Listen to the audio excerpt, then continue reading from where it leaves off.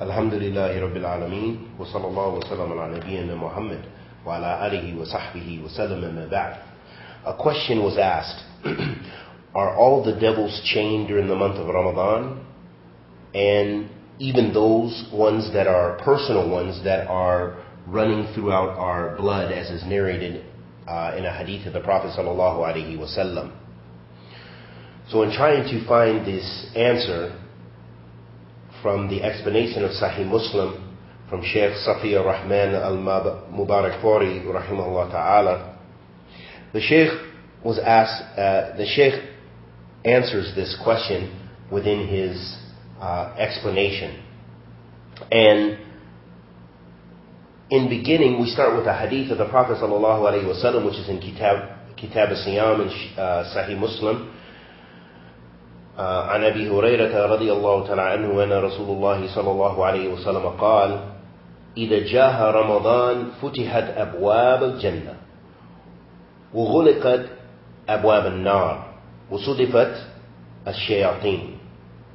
So in this hadith that was narrated by Abu Huraira رضي الله تعالى عنه who said that the Prophet صلى الله عليه وسلم said when Ramadan comes the doors of paradise are opened, and the doors of the hellfire are closed, and the devils are fettered.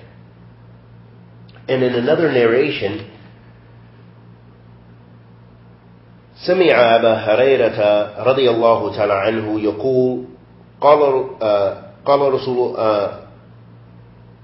يقول قال رسول الله صلى الله عليه وسلم إذا كان رمضان فتحت أبواب الرحمة وغلقت أبواب جهنم وسلسلت الشياطين So in this other narration, which is also in Sahih Muslim, and was also a narration by Abu Huraira, narrated by Abu Huraira, radiallahu ta'ala anhu, he said that the Prophet, he heard the Prophet sallallahu alayhi wasallam say, when it is Ramadan, the doors of mercy are opened, and the gates of hellfire are closed, and the devils are chained.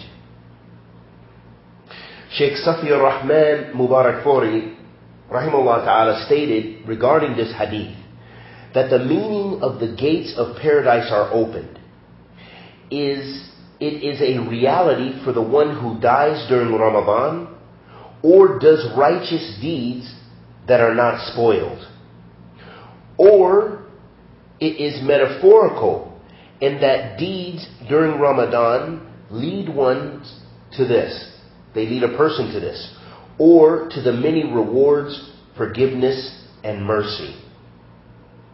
Imam Nawawi said, Al-Qadi said, Rahimahumullah ta'ala, it could also mean that opening the door of paradise is an expression of what Allah the Almighty gives to His servant from the different ways of obedience during this month, which is not the case during other times in general, like fasting, standing in night prayer, doing good deeds, and abstinence from various types of vices. And these are all the reasons to, to enter paradise, uh, for entering paradise and its gates. Mubarakpuri also explained he said, the gates of hell are closed. He said that this is either in reality or metaphorically, similar to what has already been uh, mentioned. And the fact that they are closed does not negate death of disbelievers and that their punishment by, uh, by, uh, by fire in hell.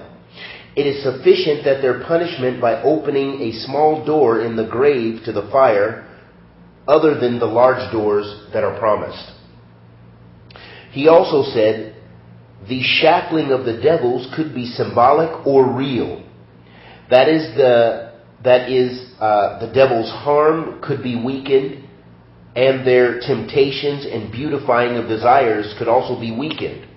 Or it could mean they may be unable to exercise those powers during this month. He also stated, rahimahullah ta'ala, regarding the devils being bound in chains, that this is done with tight chains and could be either symbolic or real. And what is meant by the devils is all of them, or the transgressing devils, or the ones that steal secrets. So what we learn from this is that the scholars of Ahl Sunnah, they differ over whether uh, the devils are chained symbolically or uh, in reality. And they also differ of whether some of the devils are chained or all of them are chained. But however, this has no effect upon the ahkam or the rulings or the practice or our practice of the hadith of knowing the comfort that the, sh- the devils, the shayateen are being chained. This has no difference on our practice. We should still strive our best to gain the benefit of Ramadan and know that there should be less fitna for us, less trials and, and, and whispering from the devils because they're chained. So this is what is sufficient for us to know. And it has no effect upon our practice or the rulings. And so these difference, differences in interpretation are permissible. And Allah subhanahu wa ta'ala knows best. And I ask Allah the Almighty to forgive us of our sins and forgive the ulama of, of their sins and bless us all with guidance and bless us with ilm nafiya, rizqan tayyiba wa amalan mutaqabbilan wa sallallahu wa sallam.